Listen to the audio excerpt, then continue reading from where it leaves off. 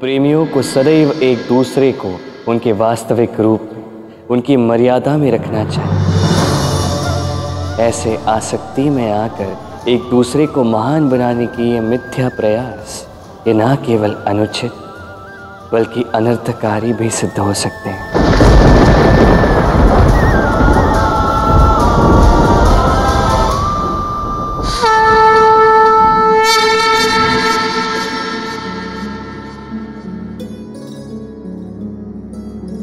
और इस प्रकार वामन अवतार नारायण उनका तीसरा पग बलि के कहने के अनुसार बलि के मस्तक पर रखा। उसके पश्चाताप की भावना से प्रसन्न होकर उसे अगली सवर्णी मनवंतर में इंद्र होने का वरदान भी प्रदान किया।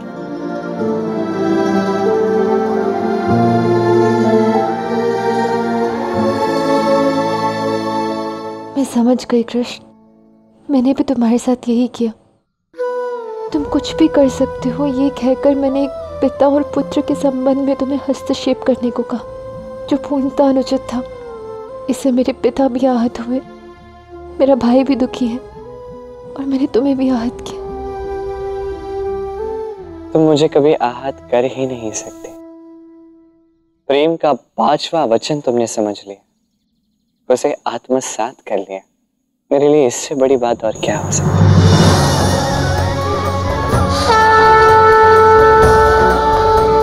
और जब तुम इतना जान गई हो तो ये भी जानो कि सारे समस्याओं के तालों की कुंजी भी यही है।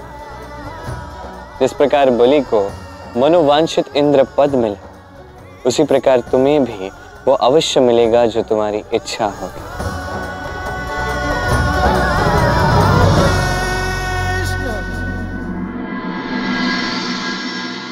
अब सहायक पद के लिए। अयन का अभिषेक होगा।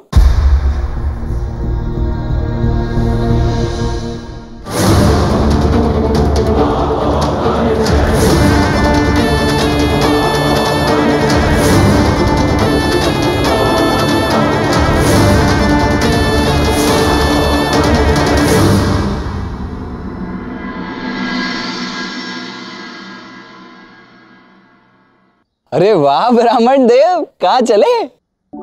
अरे, आप दोनों जानते हो, महाराज कंस ने मुझे अनेकों स्वर्ण मुद्राएँ प्रदान की हैं। पहले तो उन्होंने मुझे बंदी बना लिया था। फिर मैं भयभीत हो गया, किंतु उन्होंने मुझे सुरक्षित छोड़ दिया। अंत भला तो सब भला। तब तो आप अब अत्यंत प्रसन्न होंगे ना ब्राह्मण देवता? ऐसे कैसे प्रसन्नचित नहीं होंगे? हमने जो जानकारी दी थी वो सत्य भी तो होगी। आप लोगों के द्वारा दी गई जानकारी से मेरी दरिद्रता का अंत हुआ। चलो बहुत अच्छी बात है। देखिए अब हमारी छोटी सी सहायता से आपका थोड़ा लाभ हुआ। अब आप भी हमारी छोटी सी सहायता कर दीजिए। हमारा भी थोड़ा लाभ हो जाएगा। देखिए इतनी अधिक स्वर्ण मुद्राओं के बदले बस एक छोटा सा कार्य। कहिए कहिए क्या करना?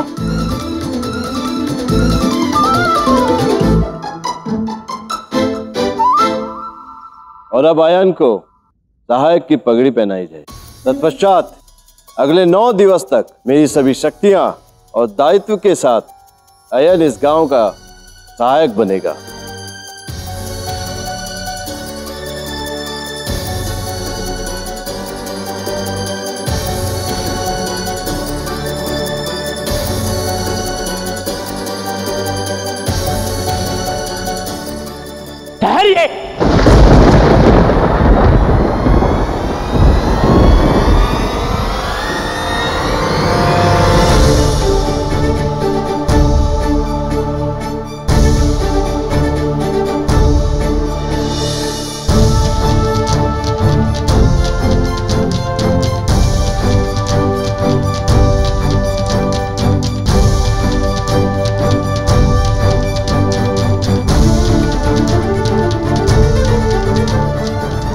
क्या हुआ ब्राह्मण देव?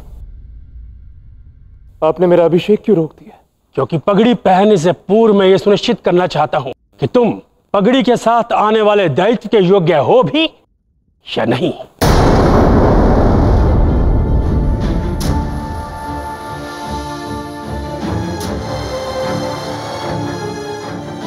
आप सभी को मेरा प्रणाम। मैं एक पथिक ब्राह्मण हूँ। मैंने सुना है आज यहाँ नए सहायक का चुनाव हो रहा है। एक ब्राह्मण होने के नाते मेरा ये दायित्व बनता है कि मैं एक अच्छे शासक की पहचान करूँ। यदि आप सबकी आज्ञा हो तो मैं इस युवक से कुछ प्रश्न पूछना चाहता हूँ।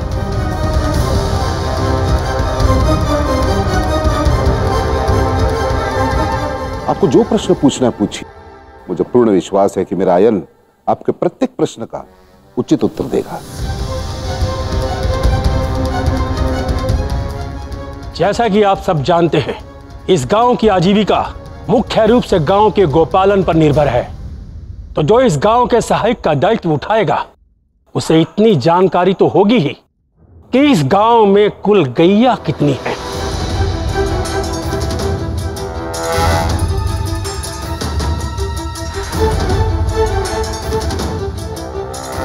हमारे गाँव में कुल मिलाकर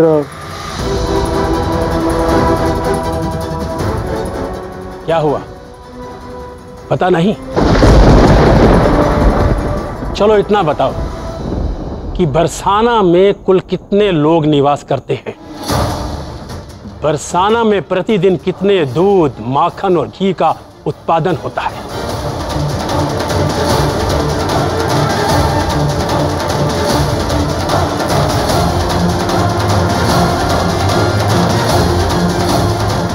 सोच क्या रहे हो उत्तर दो अयन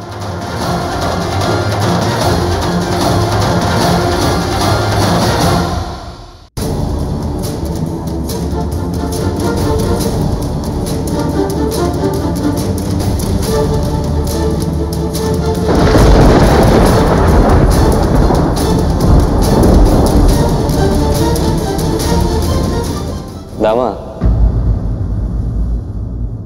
क्या हुआ दम? कहाँ चले कहीं दूर। दामा तुम्हें उन सारे प्रश्नों के उत्तर ज्ञात है। तुम जाके उन सारे प्रश्नों के उत्तर क्यों नहीं देते? तुम भी जानते हो इस पद के योग्य तुम ही हो। याद है ना तुम्हें? यदि ऐसा होता तो राधा जी जी मुझे चुनती। परंतु उन्होंने चुना उस अयन को। राधा जी जी ने मुझसे कहा था कि वही मुझे सहायक बनाएगी। राधा ने तुम्हें नहीं चुना क्योंकि वो नहीं चाहती तुम उपकार के कारण चुने जा। वो चाहती है कि तुम अपनी क्षमता के आधार पर अपनी योग्यता के आधार पर इस पद को प्राप्त करो। क्या यह अनुचित है? तो इसलिए उन्होंने आयन को चुना? तुम सत्य कह रहे हो ना कृष्ण? अब जाओ दाम। अपनी बहन को अपने पिता को सभी को गर्वित करो सबका मान बढ़ाओ। अब जाओ और अपनी योग्यता सिद्ध करो।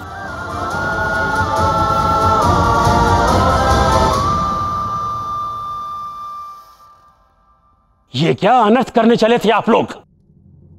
एक अयोग्य और अक्षम व्यक्ति को इतना बड़ा दायित्व सौंप रहे हैं आप। इसे तो बरसाना के विषय में कुछ ज्ञात ही नहीं। तो इतना बड़ा दायित्व ये कैसे उठाएगा? कदाचित ये इतनी बड़ी शक्ति की योग्य नहीं। सत्य है। अयन इस पद के योग्य नहीं। किंतु अयन नहीं। तो फिर कौन संभालेगा इस पद को? कौन बनेगा इस गाँव का सहायक? बरसाना में तीन सहस्त्र गैया है, जिनकी देखभाल सात सहस्त्रवासी करते हैं। और बरसाना में प्रतिदिन दो सहस्त्र मटकिया। दूध तीन सौ मटकिया घी और एक सहस्त्र मटकी माखन का उत्पादन होता है।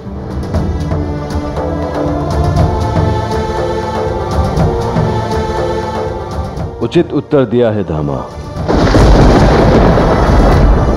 हाँ ये युवक है जो बरसाना की मिट्टी से जुड़ा हुआ है।